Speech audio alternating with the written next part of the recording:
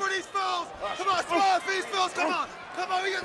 Oh. Well, taking all of that frustration out on Apollo Crews, but Crews now firing back with a series of forearms before he's stopped by the Celtic Warrior.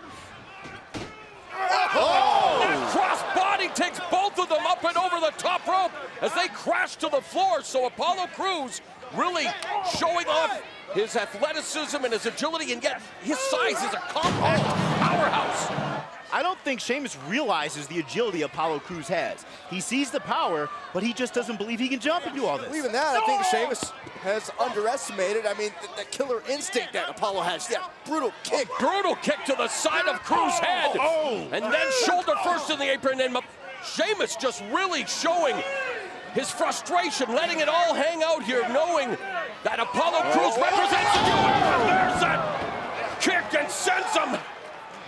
face first into the steel steps. And I don't know if Apollo Crews is going to be able to break this count. Uh, Apollo's hurt. Do you know what kind of power Sheamus has in that brogue kick? I've been hit with that. Wait, referee. And it's, it's like getting hit with a stallion. Well, guys, watch the count. Apollo Crews unable to beat the 10 count. Here is your winner by count, Sheamus. And Sheamus evens the field